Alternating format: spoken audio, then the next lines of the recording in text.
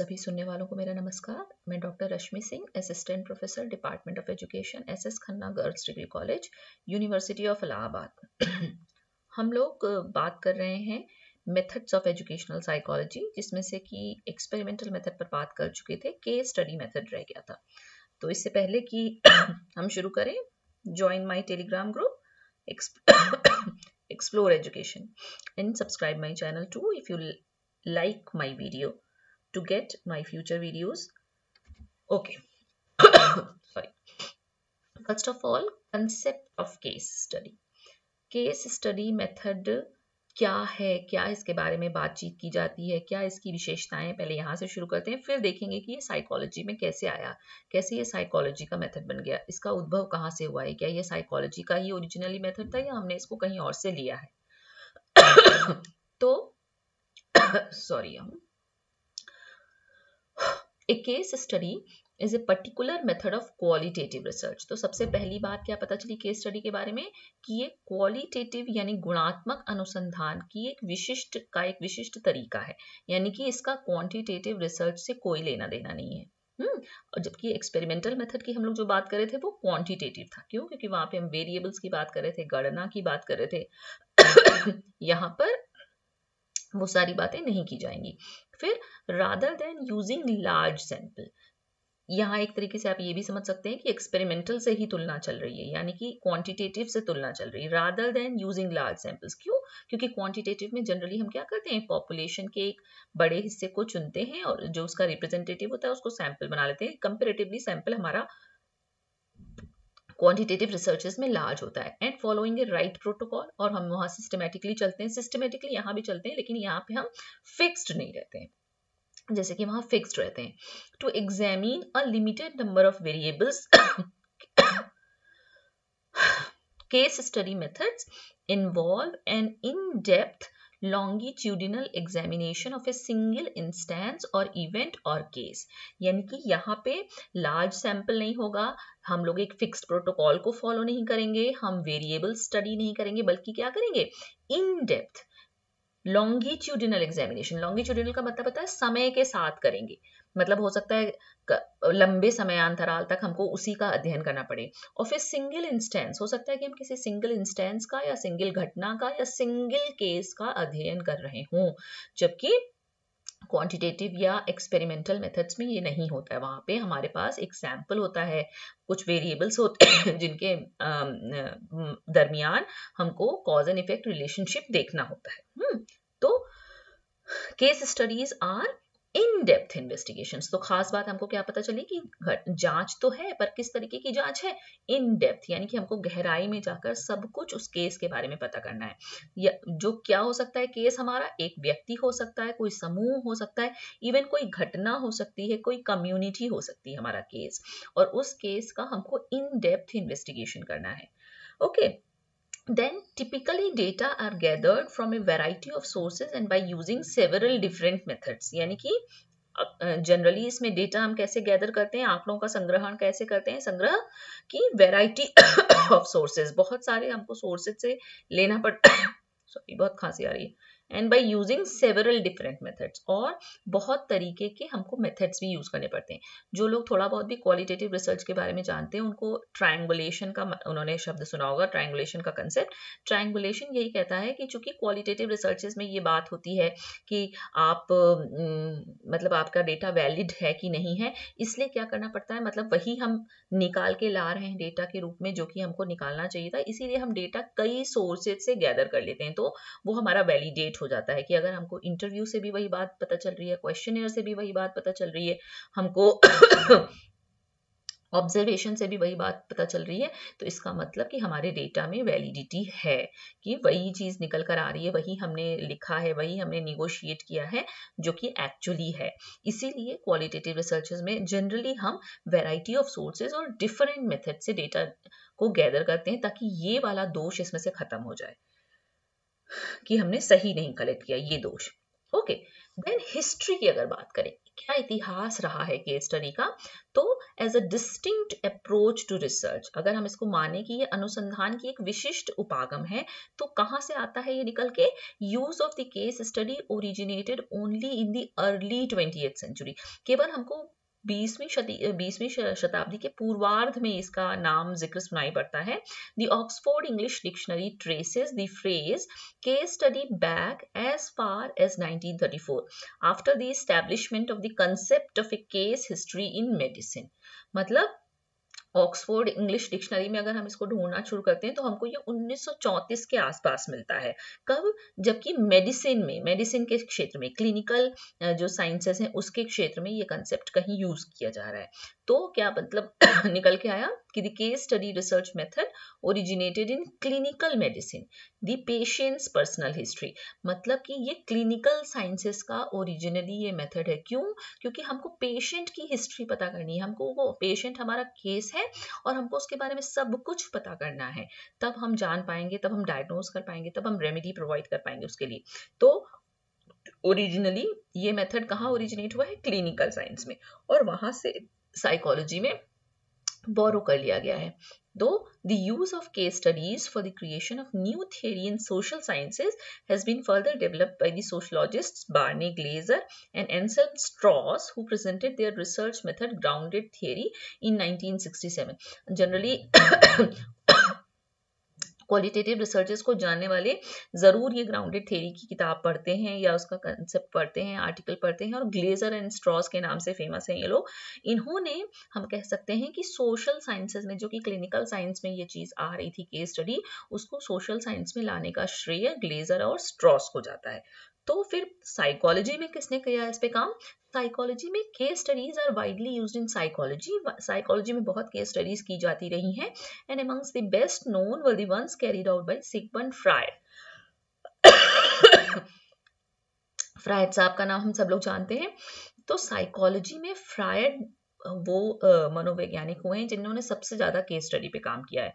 He use case study method to assist his subject in solving personality problem subject का मतलब वो विषयी, जिन पर वो रिसर्च कर रहा था, जिन पर वो स्टडी कर रहा था, या कर रहे थे सॉरी हम्म तो फ्रायड साहब, जो पर्सनैलिटी प्रॉब्लम यानी कि कुछ ऐसे उनके पेशेंट थे, कुछ ऐसे जिनको कोई पर्सनैलिटी डिसऑर्डर था तो उसको वो असिस्ट कर रहे थे इस मेथड के थ्रू किस मेथड के थ्रू केस स्टडी के थ्रू हम्म फिर even today case histories are one of the main methods of investigation sorry one of the main methods of investigation in abnormal psychology and psychiatry तो आज भी जो abnormal psychology जो कि psychology की ही एक branch है उसमें case histories बहुत use की जाती हैं और psychology में in psychology case studies are often confined to the study of a particular individual कोई particular individual है उसको हमको study करना है कि उसका हमको पूरा case history जानना है तो उसके लिए case study use की जाती है the information is mainly biographical मतलब हम उसकी पूरी biography उसकी study करेंगे and relates to events in the individual's past as well as to significant events which are currently occurring in his or her his और हर एवरीडे लाइफ यानी कि उसकी बायोग्राफी हमको पता करनी है, उसका पूरा भूतकाल मतलब क्या हुआ, कैसे पढ़ाई माता पिता उनकी शिक्षा, कोई इस तरीके की कोई बीमारी या कोई ऐसा इवेंट जो बहुत महत्वपूर्ण रहा हो सब कुछ एवरीथिंग इन टोटैलिटी हमको केस स्टडी में उस particular individual group event instance के लिए हमको स्टडी करना होता है। देन स्टेप्स अगर हम केस स्टडी करने जा रहे हैं तो कौन से वो चरण हैं जिनको हमको फॉलो करना होगा? तो सबसे पहले हम क्या करेंगे? Determining the present status of the case और केसेस अगर हमारा एक केस है या हम कुछ केसेस की स्टडी करने जा रहे हैं तो हम उसकी प्रेजेंट स्टेटस को डिटरमाइन करेंगे, सुनिश्चित करेंगे। यानी कि हम एक ऑब्जर्वेशन लेंगे कि क्या चीज़ है, वस्तु स्थिति है क्या। Then identifying the most probable hypothesis of the case और केसेस फिर क्या करेंगे हम? हम हम ढूंढेंगे, पता लगाएँगे, ये चीज़ जांचेंगे कि क्या मतलब हम कोई पर्टिकुलर चीज़ की स्टडी कर रहे हैं ना मतलब कुछ उसमें डेविएशन होगा, कुछ अच्छे के सेंस में या बुरे के सेंस में कोई डेविएशन होगा, तभी तो स्टडी करने जा रहे हैं। जनरल व्यक्ति की तो कोई स्टडी करने का कोई अर्थ नहीं है। तो वो जो जो वो डेविएशन है, या अच्छे की तरफ़ है पॉजिटिव में है या नेगेटिव में है तो हम एक मोस्ट प्रोबेबल हाइपोथेसिस आइडेंटिफाई करेंगे कि इसकी वजह क्या हो सकती है। फिर वेरिफिकेशन ऑफ़ हाइपोथेसिस जब हम पूरा डेटा हमारा कलेक्ट हो जाएगा तो हमारी हाइपोथेसिस वेरीफाई हो जाएगी कि हमने सही हाइपोथेसिस बनाई थी या नहीं बनाई थी। Then diagnosis and remedial measures हम कर क्यों रहे हैं केस स्टडी अगर सिगमन फ्राइड साहब ने की क्यों थी? क्यों? क्योंकि कुछ लोगों को जो भी उनके पेशेंट थे साइकोपैथोलॉजी पे उनका काम है, वो जो पर्सनैलिटी डिसऑर्डर से वो ग्रसित थे तो उसकी स्टडी करके वो दूर ही तो करना चाह रहे हैं ना उनका प्रॉब्लम तो हम भी यहाँ केस स्टडी करके वो जो पर्टिकुलर प्रॉब्लम प्रॉब्लम है या पर्टिकुलर जो डेविएशन uh, है उसको क्या करेंगे? डायग्नोज करेंगे और फिर हम रेमेडी प्रोवाइड करेंगे। हमारा पर्पस यही है ना?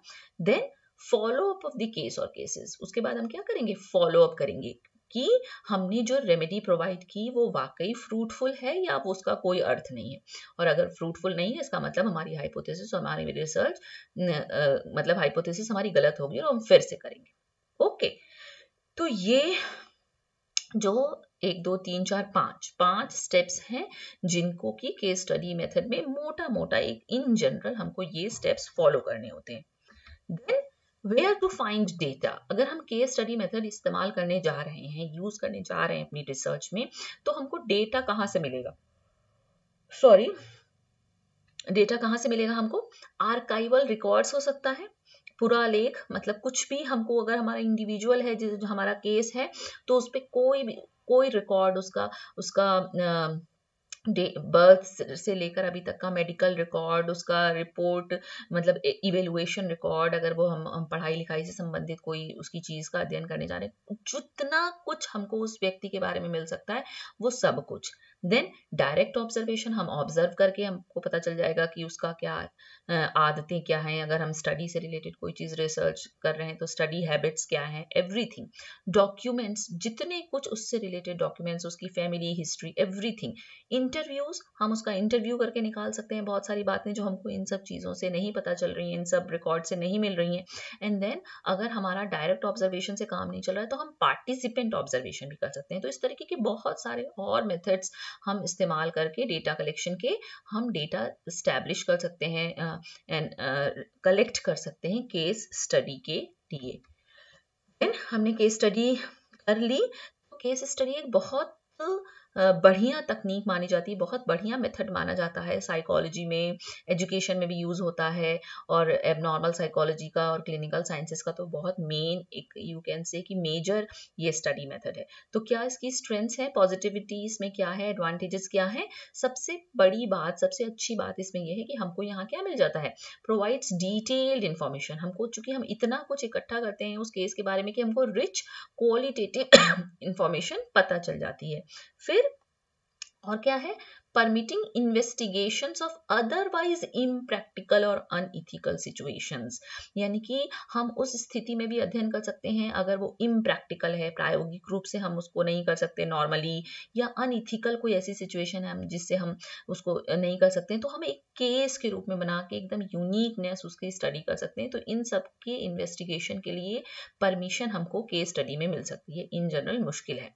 Then allows researchers to investigate a topic in far more detail, hence used in exploratory research. Okay. Okay.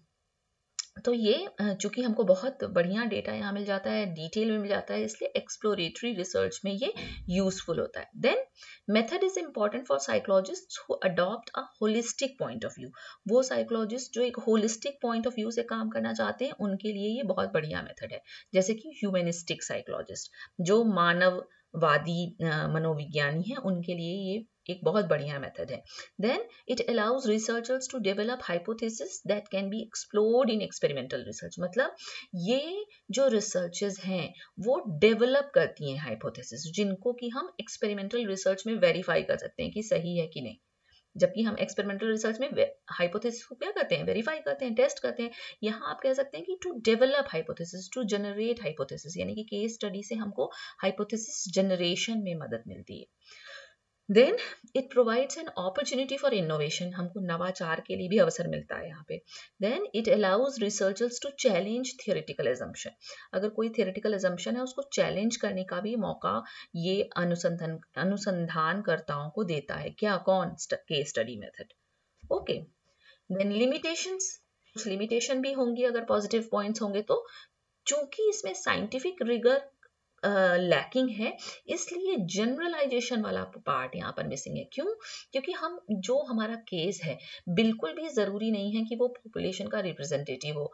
जब तक वो पॉपुलेशन का रिप्रेजेंटेटिव नहीं होगा, हम उसके रिसर्च को, उसके रिज़ल्ट को जनरलाइज कर ही नहीं सकते। जनरलाइजेशन का मूल यही है कि जो हमारा सैंपल हो, वो पॉपुलेशन का प्रतिनिधित्व करना होना चाहिए। तभी तो हम उसका आंसर पॉपुलेशन पे जनरलाइज करेंगे ना, वरना वो टिपिकल उसी केस के लिए सही होगा सिर्फ़। Then researchers own subjective feelings may influence to case study. हम रिसर्च करने वाले हैं, हम ही सब कुछ आपके बारे में अध्ययन कर रहे हैं, सब कुछ नक से शिक तक आपके बारे में तो हो सकता है मेरा बायस आ जाए आपकी रिपोर्टिंग में तो ये सब्जेक्टिव फीलिंग बहुत हैम्पर कर सकती है उसकी objectivity then difficult to replicate sorry चूँकि कंट्रोल्ड कंडीशन नहीं है, हमने एक्सपेरिमेंटल रिसर्च में पढ़ लिया है, इसलिए रेप्लिकेशन भी पॉसिबल नहीं है। जब तक हम कंडीशन को कंट्रोल नहीं करेंगे, तब तक हम उसको रेप्लिकेट नहीं कर पाएँगे। इसीलिए जो कि यहाँ नेचुरल फिनोमेना है, इसीलिए रेप्लिकेशन भी बहुत मुश्किल है यू कैन से इम्पॉसिबल है। देन बहुत टाइम कंज्यूमिंग है और एक्सपेंसिव भी है, क्योंकि हमको एवरी डिटेल निकालनी है तो बहुत टाइम भी लगता है और खर्चीली भी पड़ती है ये विधि। Then it can not demonstrate cause and effect क्यों? क्योंकि हमने यहाँ कंडीशन को कंट्रोल नहीं किया हमको वेरिएबल्स पे हम बात नहीं कर रहे हैं, हम कंडीशन को कंट्रोल नहीं कर रहे हैं, हम रैंडमाइजेशन नहीं कर रहे हैं, हम एक्सपेरिमेंटल मेथड का कोई स्टेप फॉलो नहीं कर रहे हैं तो हम कॉज एंड इफ़ेक्ट भी यहाँ नहीं बता सकते कि कौन सी चीज़ घटना है, कारण है और कौन सी प्रभाव है। तो ये सारे इसमें क्या हो जाते हैं? लिमिटेशंस हो जाते हैं, लेकिन इसके बावजूद भी केस स्टडी मेथड एक बहुत इंपॉर्टेंट और बहुत मज़बूत, बहुत शक्तिशाली you can say powerful method है। अगर हम वाकई in depth information in depth किसी के बारे में जानकारी हासिल करना चाहते हैं, किसी घटना के बारे में, किसी व्यक्ति के बारे में, किसी समूह के बारे में तो। Okay so thank you all and don't forget to like and subscribe my channel. You can also join my telegram group. Where you can attain quizzes, get learning materials, and most uh, important that you can ask your query there because that platform is uh, where you can also share your views, you can share feedback. In YouTube, only I am speaking, but here, there, you can also speak. Okay, so done from my side and I have completed methods of educational psychology today experimental method as well as case study method and in my previous video I have covered introspection and observation. So go through that video for that topic. Okay, done.